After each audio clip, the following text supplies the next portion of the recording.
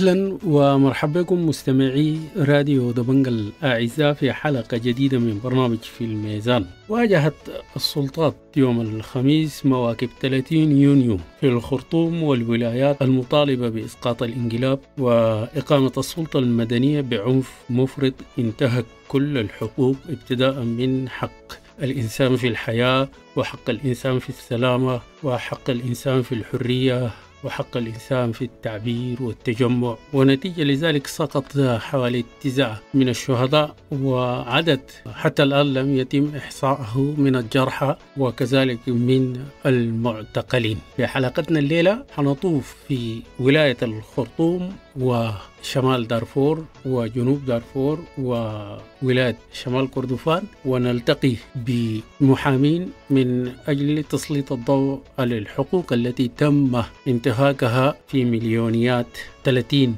يونيو بهذه الولايات. ونشير لأنه بمثل ما واجهت السلطات بعض المواقف في بعض الولايات بالعنف المفرط. هناك مواقف مرت بدون أن تتعرض لها الأجهزة الأمنية في ولايات أخرى. ونبدأ بولاية الخرطوم و نلتقي بالأستاذة المحامية نفيسة حجر عضو محامي الطوارئ نائب رئيس هيئة محامي دارفور لتحدثنا عن الانتهاكات التي وقعت في الخرطوم. يوم أمس كان يوم عصيب جدا وانتهكت فيه كل الحقوق ابتداء من الحق في الحياة. الآن عدد الشهداء وصل العشرة. ده بخلاف الناس اللي حالتهم حرجة الآن في المستشفيات. عدد الجرحى تجاوز ال 500 ده متعلق بالحق في السلامة. إضافة للحق الأساسي بتاع التعبير. الناس طلعت في مواقف سلمية متوجهة مالية كل الشوارع بتاعة الخرطوم وشوارع الولايات على أساس إنها تعبر عن رأي في إنها هي رافضة حكم العسكر. السلطة الغايمة آه وعدت. والتزمت قالت إنها هي حتحمي المواكب دي. ولكن الناس يعني كعادتها أخلفت بوعدها وهي اللي انتهكت حق الناس في المواقف دي. الغمع تم بواسطة القوات النظامية التابعة للسلطة الغايمة. امبارح الجيش كان موجود. الشرطة كانت موجودة. الطيرة كان موجود. كل القوات النظامية اللي بتتبع للسلطة الغايمة كانت موجودة وهي اللي كانت بتقمع أمس كان قمع مفرط لحد يعني استمر إلى صباح اليوم. القمع إلى صباح اليوم ولسه الآن الناس في الشوارع ولسه القمع مستمر. الآن نحن عندنا في السجون ما لا يقل عن 900 معتقل منهم عدد كبير من الأطفال. في حوالي 27 من السائرات. ديل الآن هم موجودات في سجن التائبات. ليه؟ بس لأنهم هم طلعوا وعبروا عن رأيهم. استخدموا قوة مفرطة بدليل إنه هم استخدموا الرصاص. في البداية ناس الحكومة قالوا نحن حنطلع وكلاء نيابه مع الشرطة بحسب البيان الوارد منهم. انه لحماية المواقف الرصاص إذا كانت النيابة موجودة وأمام عيون النيابة بيتم الغسل وما بكون في تفاعل. ولما يتم القبض النيابة حاضرة بحسب هم البيان الورد انها هي حتكون حاضرة. فإذا هي حاضرة الغسل وفي نفس الوقت لما تمشي لهم في النيابة عشان تقول لهم إنه في أطفال معتقلين يقولوا لك إحنا ما بنقدر نعمل حاجة ده اعتقلهم جهاز الأمن. يعني نحن في في وضع غريب جدا. الآن النيابة ما غير قادره وغير راغبة في إنها تبارز تمارس السلطات الإشرافية. الآن السلطة الموجودة السلطة الآن المفروض تستخدم في المواقف دي وحمايتها هي سلطة النيابة. سلطة النيابة في إنها هي تحمي المواقف. سلطة النيابة في إنها تمشي وتزور السجون والمحتغلات وتطلع المحتغلين ديل أو إذا كانوا مرتكبين جريمة يقدموهم. الآن أنا عندي واحدة عمرها 18 سنة مصابة بسكري وأزمة دي حرموها من الحق في العلاج. يعني زول عيان بيقولوا لك مريض وأهله يجيبوا الدواء. يقولوا لك يا أخي نحن ما دايرين انك لكن شيل الدواء ده ودي له بس لأنه الزول ده آه عنده مرض مزمن وهو محتاج للعلاج يعني في في أي لحظة. يعني إدارة السجن بتاع النساء رفضت قالوا لأسرة البيت نحن ما بنقدر نستلم لأنه دي مقبوضه بواسطه الجهاز الأمني والمخابرات الوطني في بلاغ بتاع شغب طيب إذا هو أصلا البلاغ بتاع شغب بلاغ الشغب ده بينتهي في القسم لأنه زول بيطلع بالضمانه العادية وبيقدم إلى المحكمة. إذا ثبت إنه مرتكب جريمة صحيح بتاع الشغب عندها عقوبة معينة الزول بياخدها. لكن تحول لنا سجن بدون ما انك حتى الحق في إني أنا آه أهلي قابلوني. الحق في إنه أنا يكون عندي محامي يمثلني وأنا الحق في المحاكمة العادلة ذاته جردوهم منه لأنه الزول من حقه إنه يضمنوه طالما في بلاغات بيجوز فيها الضمانة. فنحن للأسف الشديد الوضع عندنا متدهور شديد وده له خلل كبير في الأجهزة العدلية يعني. للأسف الشديد الأجهزة بتاعت الشرطه والنيابة وخذ معاهم الغضاء كل الأجهزة دي الآن أصبحت هي موالية للشرطه الغائمه واجهزه ما نزيهه وما شفافة. وبس ربنا يعني هل يعني نما لعلمكم أو لاحظتوا إنه في إعاقة لعربات الإسعاف اللي بتسعف المصابين وفي اقتحام لبعض المستشفيات بما ينتهك حق العلاج؟ أنا أقول لك أنا الأمس أنا هسه بتكلم معاك دي أنا أمس كنت مضروبة كنت مضروبة في رجلي وأنا تم نقلي لمستشفى الفيصل. كويس وأنا في مدخل المستشفى وكان يعني برضه غير الضربة إنه أنا صرت بحالة بتاعت اختناق. يعني إحنا لما وصلنا باب المستشفى قبل ما ندخل المستشفى كانوا مطارديننا بالعشرات لحد ما دخلنا المستشفى. فلما الناس دخلت المستشفى فإذا بالتاتشر اللي فيها قوات الشرطة الشرطه على وجه الخصوص يعني أنا شفته بعيني أنا. الشرطة دخلت المستشفى وضربت البومبان داخل مستشفى الفيصل. مستشفى فوق ناس عندهم أمراض في الرئة. ناس أمراض في القلب يحاولوا يحتغلوا الناس داخل المستشفيات. يعني المستشفى دي كمية البومبان اللي اتفك داخل المستشفى يعني مريض بالحساسيه ممكن كان يروح فيها. ما بالك بزول عنده مشاكل في الرئة مشاكل في القلب. حتى هم بيتعمدوا إنه يحرموا الناس من كل الحقوق قلت لك. بالإضافة لإنه عربات الإسعاف كان بيتم تفتيشها ويغافوا يعرقل الطريقة يعني. حتى عربات الإسعاف يضطروا إنهم ما ياخذوا السير يخسروا يغيروا خط السير اللي ممكن يلاقوا فوقه نقاط بتاع التفتيش. نظل في ولاية الخرطوم أيضا مستمعينا الكرام ونستمع للأستاذ نصر الدين يوسف ضفع الله المحامي يسلط الضوء حول ما جرى في الخرطوم وخصوصا في أم درمان. حراك 30 يونيو المشهود يعني مارست السلطة انتهاكات صارخة هذه الانتهاكات تمثلت في يعني قتل المتظاهرين السلميين وهم يمارسون حقهم المشروع يعني الحراك السلمي المعلن عنه. حراك يجد سنده في القوانين والمواثيق التي تلزم الحكومة السودانية باحترامها وموقع على تلك المواثيق. وموجودة الحريات المكفولة بموجب الوثيقة الدستورية التي يدعي النظام أنه متمسك بها وفي القوانين الداخلية. فهذه الانتهاكات شملت القتل بالرصاص في مناطق يعني قاتلة. وده انتهاك صارخ لحق الإنسان في الحياة. الشرع بيرفضه والقوانين بترفضه والمواثيق بترفضه. آه أيضا مارست السلطة انتهاك صارخ بتسبيب الأذى. هناك أعداد ضخمة من الناس المتظاهرين السلميين تم الاعتداء عليهم بالضرب وسبب لهم أذى. مستشفيات مليئة بالحالات دي. أيضا شمل انتهاك الاعتداء على بعض النساء. أنا شخصيا كنت في يعني ده نموذج فقط واحد. أنا كنت في عيادة في دار حزب الأمة الساعة ستة ونص مساء. أحضرت دكتورة طبيبة. هذه الدكتورة يعني مغمى عليها تماما. نهبت كل ممتلكاتها. تلفون وقروش و... يعني نحن ما عارفين طبيعة الاعتداء عليها شنو. ده نموذج فقط. آه هذه الانتهاكات في الواقع متكررة ومتجددة. الحق في التعبير والحق في التجمع والحق في التظاهر السلمي والحق في الحراك هو حقوق مكفولة بموجب القوانين وبموجب المواثيق وبموجب الدستور. الوثيقة الدستورية أيضا في باب الحقوق والحريات وهو باب يعني يجب عدم المساس به إطلاقا لإلزامته الدولية والشرعية. هذا الباب وهذه النصوص تكفل الحقوق بتاعة التعبير وحق التجمع السلمي نسمى حق التظاهر. فدي كلها انتهكتها هذه السلطة بتعمد وبادعاءات فارغة لا أساس لها بتبريرات واهية بانه التظاهرات لم تكن سلمية. في الوقت لأنه يعني العالم كله يشهد في التظاهر سلمي تماما ونحن نشاهده بعين.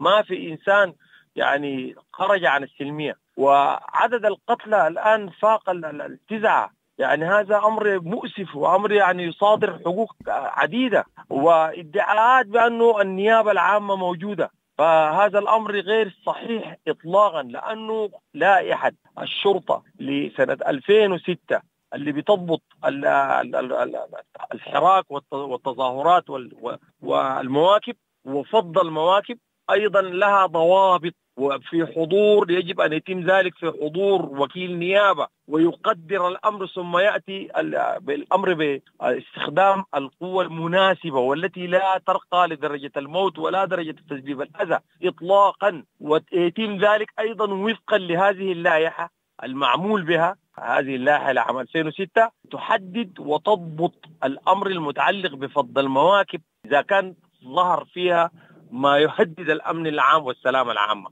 وليست يعني ليست قمع المظاهرات السلمية اطلاقا وإنما هذا الأمر منصوص عليه بهذه الشكل. القلت لم يتم الأمر بهذه الصورة. وجود رصاص في الصدر وفي في الرأس مباشرة. وده انتهاك ومخالفة كما أسلفت حتى للائحه التي تضبط عمل الشرطة. ومن ولاية جنوب دارفور ومن نيالا بالتحديد تحدث إلينا الأستاذ آدم شريف المحامي رئيس هيئة محامي دارفور بالولاية حول مسيرة 30 يونيو بمدينة نيالا يوم الخميس. نيالا قبل بداية الموكب تحديدا في يوم 29 6 قبل الموكب بيوم تم استدعاءات لقادة القوى السياسية تحديدا الحزب الشيوعي السوداني وحزب الأمة والمؤتمر السوداني وحزب البعث العربي الاشتراكي. وبعض الناشطين آه، في لجان المقاومة. وشخصيا تم استدعائي لمقابلة المتحرر نقيب شرطة محمد تاج الدين جلاب صباح يوم 30 يونيو يوم الموقف ذاته الساعة 8 صباحا بقسم نيال وسط كان الاستدعاء بناء على أوامر صدرت من لجنة أمن الولاية تحت المادة 44 إجراءات جنائية. التحقيق حول الاشتباه في ارتكاب جريمة ومضمون التحقيق إنه أنا قمت بالتحريض أو تحريض الجماهير على التهريب والشغف. في هذا الشأن أنا محامي ولي حصانة. كان ينبغي أن يتم أخذ الإذن اللازم من نقابه المحامين. إلا أن ذلك لم يتم. جاوبت على التهمة بأنني لم يسبق لي أن وجهت أو طالبت أو حرضت الجماهير للقيام بتهريب بل أن الجماهير هي تمارس حقها القانوني والدستوري في التظاهر السلمي وهو تعبير عن رأي وفقا لما هو منصوص عليه في المواثيق والقوانين الدولية وقوانين حقوق الإنسان. الموقف في نيالا كان موقف عظيم كان موقف مهيب موقف آه، لم تشهد المدينة مثله في السنوات القريبة آه، حقيقة يعني آه، مهابة الموقف وعظمه والحشود الكبيرة من الجماهير أجبرت القوات النظامية أنها تكون على على بعد من هذا الموقف ولم تتمكن من التعرض للموقف.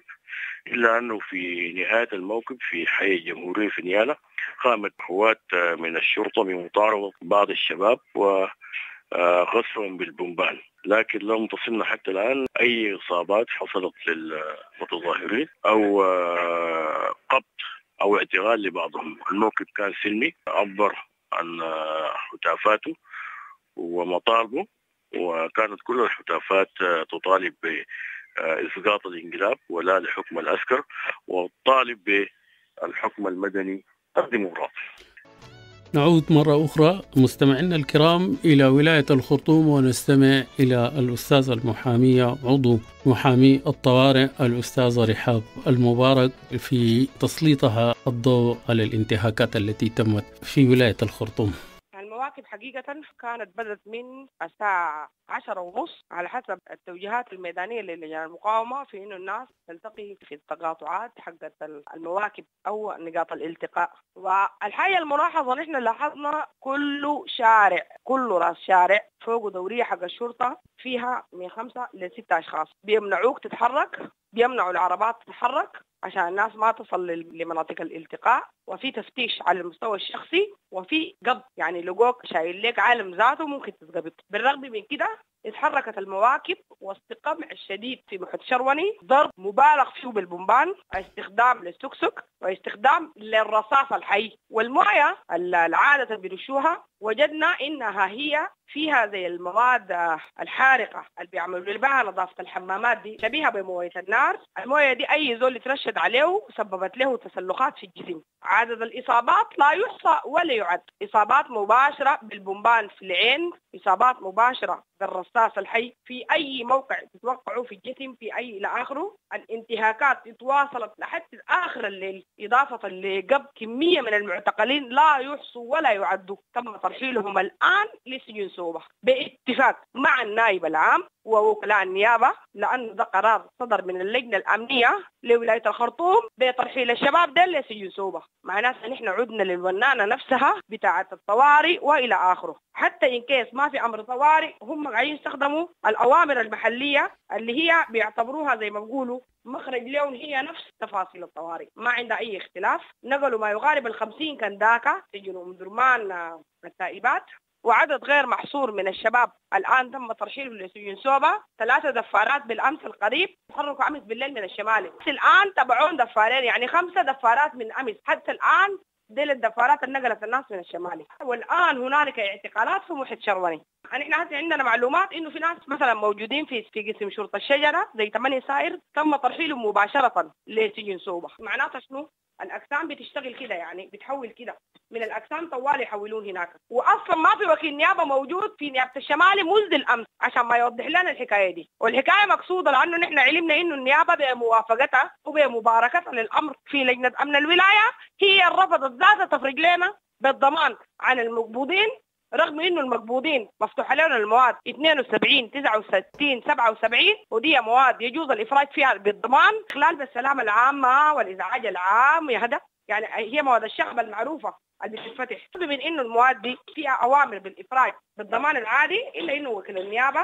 انصاع لقرار لجنه أمن الولاية اللي هي الوالي ورحلوا الشباب ده لسجون سوق والآن متواجدين في القسم الشمالي. ما في وجود لوكيل النيابة. وكيل النيابة الوحيد المشى أمس. معانا ما أفرج عنهم بالضمان. مرق ساي وعندنا محامي من ضمن المحامين معتقل. نحن بنقول له ود بكر. نفس التفاصيل بنفس المعطيات. في بحري وفي أم درمان. سمع يا أستاذ أنت هسه من قبل تحدثت عن الانتهاكات دي لكن ما تناولت أهم حاجة. يعني كان في انتهاك لحق الحياة.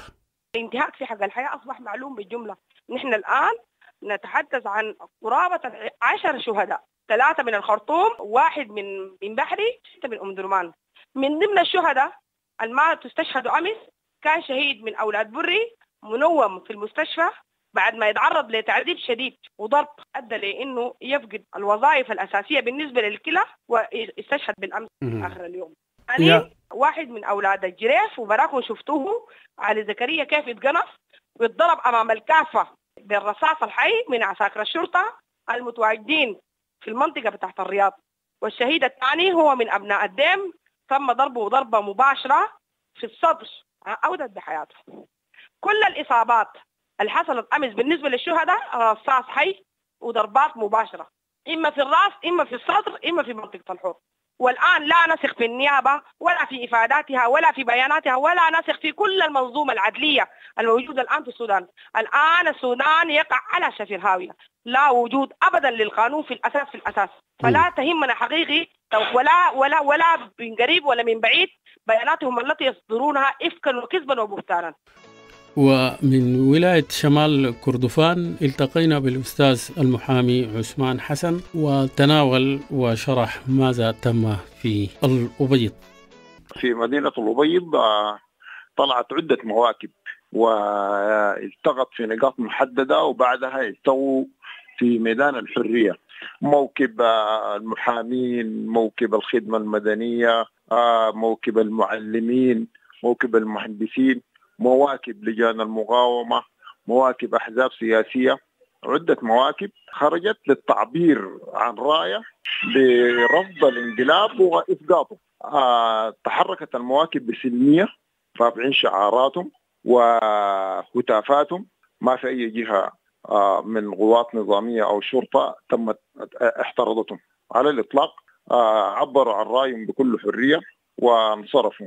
حتى صباح هذا اليوم ما تلقينا أي بلاغ بإنه في استدعاء أو اعتقال أو بلاغ. ما في إصابة. يعني حتى استخدام حتى استخدام الغاز المسيل للدموع ما وردتنا أي حاله إنه تم استخدام غاز مسيل للدموع أو محاولة تفريق أي موكب من المواكب. تأكد لنا تماما إن المواكب دي مواكب سلمية بتعبر عن مطالب مشروعة. وإذا الشرطة تعاملت معها بنفس التعامل اللي تم في الأبيض كان كل الناس اللي عبروا عن آرائهم بدون أي خسارات لا في الأرواح ولا في الممتلكات. تابعنا نحن في المدن الثانية ولاحظنا العنف المفرط في مسألة استخدام العنف في في في تفريق المظاهرات واحتراض المواكب السلمية واستخدام الرصاص الحي. فدي كلها وسائل مرفوضة تماما من قبل الشرطة سواء كان في الخرطوم الخرطوم بحر ام درمان أو في بقية مدن السودان. ده أسلوب مرفوض إنك تستخدم العنف في مواجهة المواكب السلمية. هذه المواكب بتعبر تعبير سلمي لا يجوز إنه تحترض بهذا العنف. وكان من واجب الشرطة إنها تحمي هذه المواكب تمشي في مساراتها تعبر عن شعاراتها وترجع في هدوء بدون إطلاق غاز مسيل للدموع أو إطلاق الرصاص الحي. وأخيرا من ولاية شمال دارفور نستمع للأستاذ محمد سالم المحامي وهو يسلط الضوء على ما يرى في ولاية شمال دارفور الفاشر. آه، شكرا جزيلا سابق حقيقة الفاشر فعلا مرقت امبارح في موقف هادر وسائر جدا جدا في 30 من يونيو 2022 ومثل ومثل مدن السودان الأخرى التي انتفضت لإسقاط الانقلاب. آه كانت المسيرة هادرة وهادئة وسلميه آه خرجت من عدة مناطق في الفاشر ومن عدة اتجاهات ووصلت إلى ميدان الحرية وكان الشباب والشيب والنساء والرجال والأطفال يهتفون بسلميه جيدة حتى الساعة الثالثه والنصف ظهرا ثم قامت القوات الشرطة ب إطلاق الغاز المسيل للدموع بذريعة أن هناك بعض الأطفال قد رشقوا الشرطة بالحجاره هذه معلومة غير مؤكدة لدينا إلا أنها هي الذريعة التي نسمعها الآن. إلا إنه العنف الذي استخدمته الشرطة كان مفرطا والشرطة لم تقف عند حد إطلاق الغاز المسيل للدموع بل أطلقت عايره نارية وطاردت المتظاهرين حتى داخل الأحياء. وتم اعتقال عدد 22 من الشباب والشابات بالقسم الأوسط. و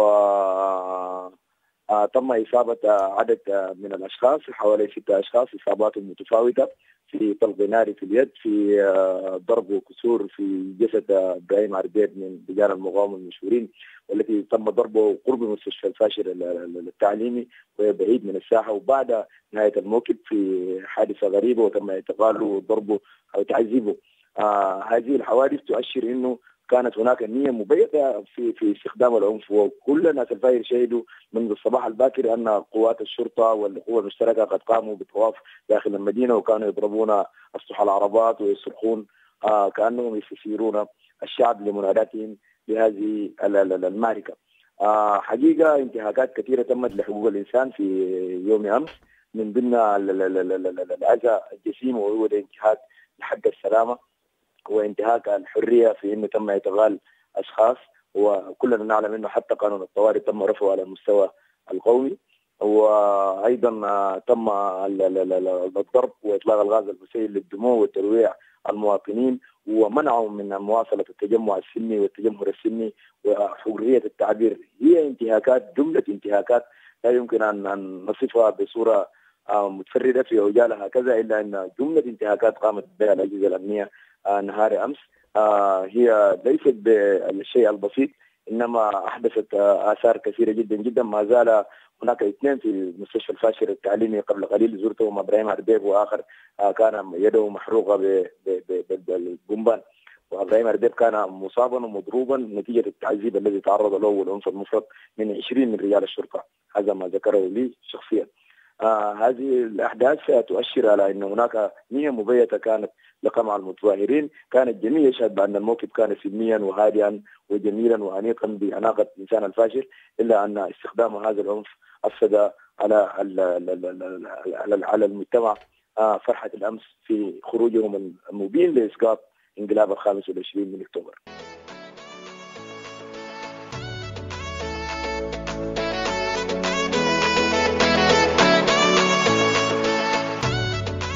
وبهذا مستمعينا الكرام نكون وصلنا إلى نهاية حلقتنا لهذا اليوم والذي حاولنا بقدر الإمكان أن نترك المجال لأصحاب القانون للحديث حول الانتهاكات التي تمت في مواكب 30 يونيو المطالبة بإسقاط الإنقلاب وإقامة الحكم المدني. أشكر لكم حسن الاستماع والمتابعة وحتى نلتقي في حلقة أخرى. لكم مني أطيب التحايا.